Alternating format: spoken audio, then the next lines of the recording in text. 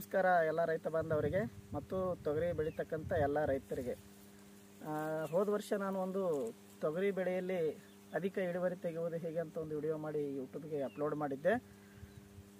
ಆ ಒಂದು ವಿಡಿಯೋ ಸಾಕಷ್ಟು ರೈತರು ನೋಡಿ ನನಗೆ ಕಾಂಟ್ಯಾಕ್ಟ್ ಮಾಡಿ, ಅದರ ಪ್ರಕಾರ ತಮ್ಮ ಹೊಲದಲ್ಲಿ ಅವರು ಪ್ರಯೋಗ ಮಾಡಿ, ಈಗ ಆಲ್ರೆಡಿ ತೊಗರಿ ಬೆಳೆದಿದ್ದಾರೆ. ಅಂಥ ಒಂದು ರೈತರಿಗೆ ಈ ಒಂದು ವಿಡಿಯೋ ಹೆಲ್ಪ್ ಆಗಲಿ ಅನ್ನೋ ಒಂದು ಉದ್ದೇಶ ಇಟ್ಕೊಂಡು ಈ ವಿಡಿಯೋ ಮಾಡ್ತಿದ್ದೀನಿ.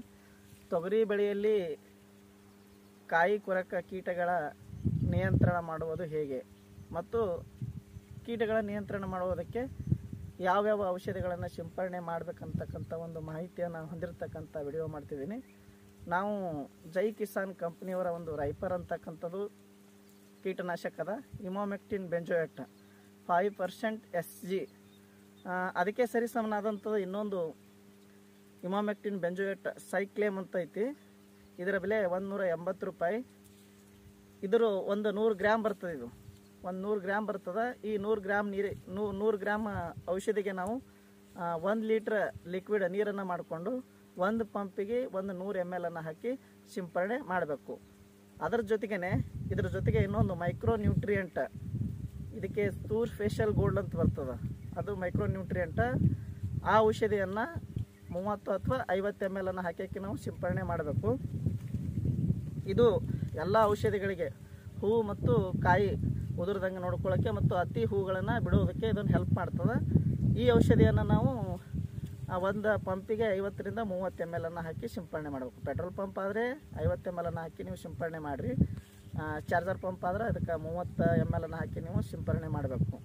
ಇದಲ್ಲದೇ ಇನ್ನೂ ಒಂದು ಔಷಧಿ ಬರ್ತದೆ ನಮಗೆ. ಈ ತೊಗರಿ ಕೀಟಗಳ ಹತೋಟಿ ಮಾಡೋದಕ್ಕೋಸ್ಕರ ಬ್ಲೂಮ್ ಅಂತ ಬರುತ್ತೆ. ಬ್ಲೂಮ್ ಅಥವಾ ಬೂಮ್ ಅದು ಸಿಲಿಕಾನ್ ಕಂಟೆಂಟ್ ಇರ್ತಕ್ಕಂಥದ್ದು. ಅದನ್ನು ನಾವು ಪ್ರತಿ ಪಂಪಿಗೆ ಐವತ್ತು ಎಂ ಅನ್ನು ಹಾಕಿ ಸ್ಪ್ರೇ ಮಾಡಬೇಕು.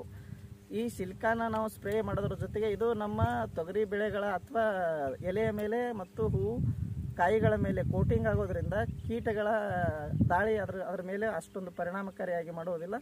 ಮತ್ತು ಕೀಟಗಳ ಸಂಪೂರ್ಣವಾಗಿ ಹತೋಟಿ ಆಗ್ತವೆ.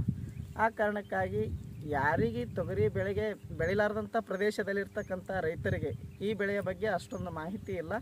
ಅವರು ಸಾಕಷ್ಟು ತುಟ್ಟಿ ಇರ್ತಕ್ಕಂಥದ್ದು ಅಥವಾ ಜಾಸ್ತಿ ಬೆಲೆ ಇರ್ತಕ್ಕಂಥ ಔಷಧಿಯನ್ನು ಸಿಂಪರಣೆ ಮಾಡಿ ಅವ್ರ ಜೇಬು ಖಾಲಿ ಮಾಡ್ಕೊಳ್ತಿದ್ದಾರೆ. ಅಂಥ ಒಂದು ರೈತರಿಗೆ ಹೆಲ್ಪ್ ಆಗಲಿ ಅನ್ನೋ ಉದ್ದೇಶ ಇಟ್ಕೊಂಡು ಈ ಒಂದು ಔಷಧಿಯನ್ನು ಹೊಡಿಬೇಕು ಅವರು.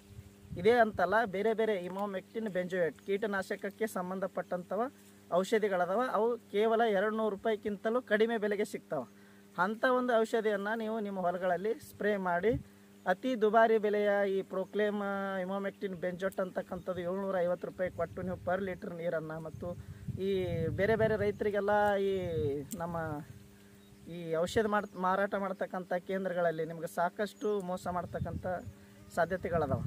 ಅವ್ರು ಏನು ಮಾಡ್ತಾರೆ? ಅವ್ರ ಅಂಗಡಿಯಲ್ಲಿ ದೊರತಕ್ಕಂಥ ಏಳ್ನೂರ ಐವತ್ತು ರೂಪಾಯಿ, ಸಾವಿರ ರೂಪಾಯಿಗೆ ಒಂದೊಂದು ಲೀಟ್ರ್ ಇರ್ತಕ್ಕಂಥದ್ದು ಔಷಧಿಗಳನ್ನು ನಿಮಗೆ ಶಿಫಾರಸ್ತು ಮಾಡ್ತಾರೆ. ಅದನ್ನು ನೀವು ಖರೀದಿ ಮಾಡಿ, ಆ ಔಷಧಿಯನ್ನು ಸ್ಪ್ರೇ ಮಾಡಿ ಅಷ್ಟೇ ರಿಸಲ್ಟ್ ಪಡೆಯೋದಕ್ಕಿಂತಲೂ ಕೇವಲ ಎರಡು ನೂರು ರೂಪಾಯಿ ಒಂದು ನೂರ ಎಂಬತ್ತು ರೂಪಾಯಿಗೆ ಸಿಗ್ತಕ್ಕಂಥ ಕೆಲವು ಸಾಕಷ್ಟು ಔಷಧಿಗಳದಾವ.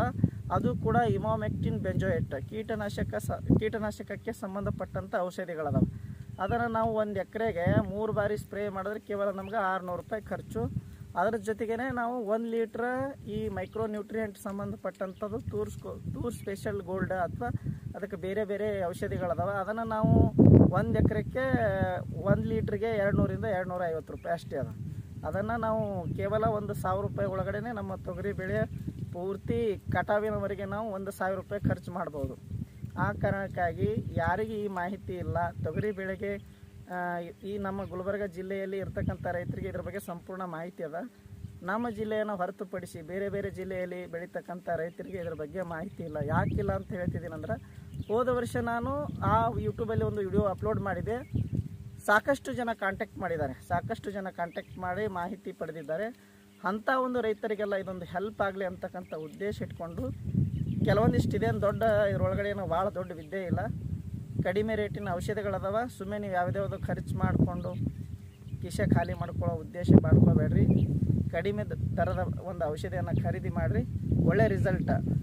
ಒಂದು ಪಂಪಿಗೆ ನಾವು ನೂರು ಎಂ ಎಲ್ ಹಾಕಿ ಸ್ಪ್ರೇ ಮಾಡಿದ್ರೆ ಹದಿನೈದರಿಂದ ಹದಿನೆಂಟು ದಿನಗಳವರೆಗೆ ಮಾತ್ರ ರಿಸಲ್ಟ್ ಬರ್ತದೆ ಎಲ್ಲರೂ ಈ ಔಷಧಿಗಳನ್ನು ಪ್ರಯೋಗ ಮಾಡ್ಕೋಬೇಕು ಮತ್ತು ತೊಗರಿ ಬೆಳೆಯಲ್ಲಿ ಸಂಪೂರ್ಣವಾಗಿ ಕೀಟಗಳ ಒಂದು ನಿಯಂತ್ರಣ ಮಾಡ್ಕೊಳ್ಳಿ ಅಂತ ಹೇಳ್ತಾ ಈ ಮಾಹಿತಿಯನ್ನು ಮುಕ್ತಾಯಗೊಳಿಸ್ತೀನಿ ಈ ಅಣ್ಣರ ಯೂಟ್ಯೂಬ್ ಚಾನಲನ್ನು ಸಬ್ಸ್ಕ್ರೈಬ್ ಮಾಡಿರಿ.